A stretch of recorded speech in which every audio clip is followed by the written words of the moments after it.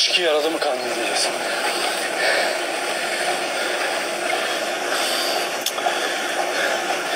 Ya hiçbir şeyin açıklamasını size yapmak zorunda değilim ama onlar içki değillerdi. Normal suydu yani. Sadece şişesi farklı olduğu için size alkol gibi gelmiş olabilir. Kaldı ki herhangi biri ya da bu ben de olabilirim. Alkol içmeyi de tercih etmiş olabilirim. Bırakın artık bunları geçin lütfen ne olur. Ne olur yani. Ben onun su olduğunu söylemek zorunda da değilim. Benim hatam. Benim hatam. Pardon.